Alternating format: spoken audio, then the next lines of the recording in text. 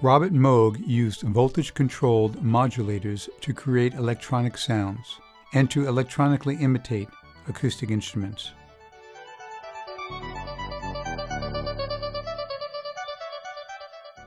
Robert Moog graduated from Cornell University with a PhD in engineering physics.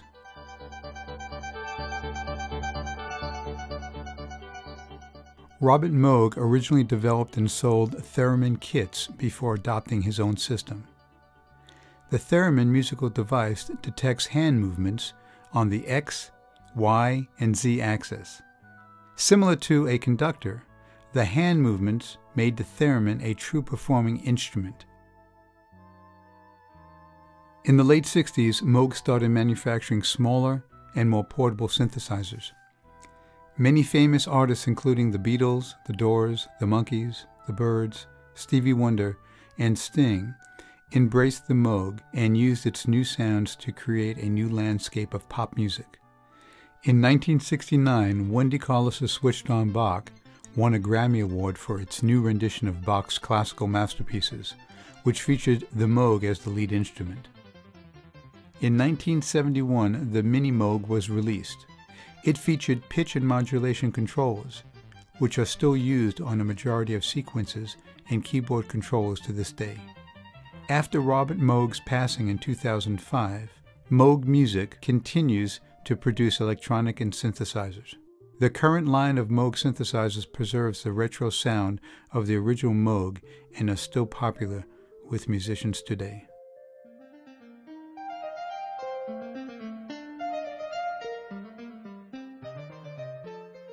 Beginning in 1963, Donald Buchla began introducing his synthesizers to musicians and composers around the world.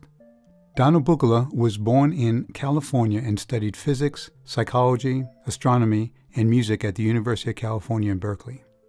After graduation, Donald Buchla became involved with the San Francisco Tape Music Center. He explored music that was composed by manipulating recorded sounds specifically acoustic generated sounds. He also built one of the first voltage control synthesizers for the San Francisco Music Center. After his introduction of the 100 series module electronic music system in 1963, the 200 series electric music box came out in 1970. In 1971, Buchla built a 500 series, which was one of the first digitally controlled analog synthesizers.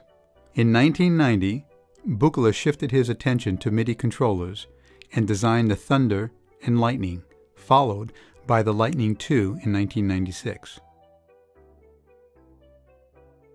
Donald Buchla's legacy is still developing, but his contribution to contemporary music is undeniable.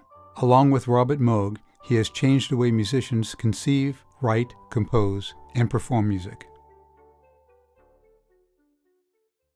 Hey, what's up? Gonna do a quick demo on the Mini Moog 5. It's a VST digital version of the original hardware. As you can see, it looks pretty much like it. Got the wood and everything. It says RA Moog in the corner. So yeah, it has all the knobs that pretty much you would use on the original Moog, and it's pretty cool. And uh, yeah, you can click on the screen. I'm using the standalone version. You can also use this VST in your favorite DAW like Cubase, FL Studio, Reason, Logic, all the above. So yeah, and one thing I like about the digital version of it, you can save presets. So if you're collaborating with somebody in a different area, a different studio, you can save the preset. You find that perfect sound, you can save it, send it to somebody around the world over the internet, and they can load that same preset and know exactly what sound you're looking for. So, so you, you can see right here a bass line.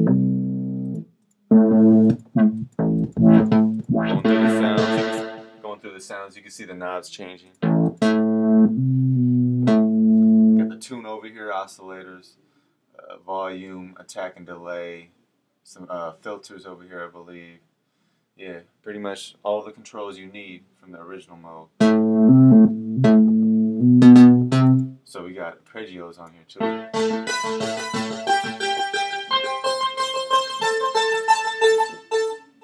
What else we got on here? And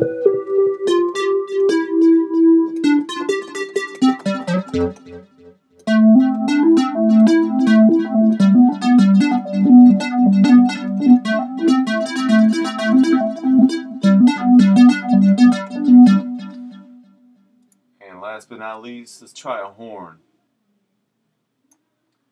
Because I know it's a it's a analog synthesizer, so you're not going to expect an actual horn to come out of here, but it'll sound somewhat like a horn. Let's see.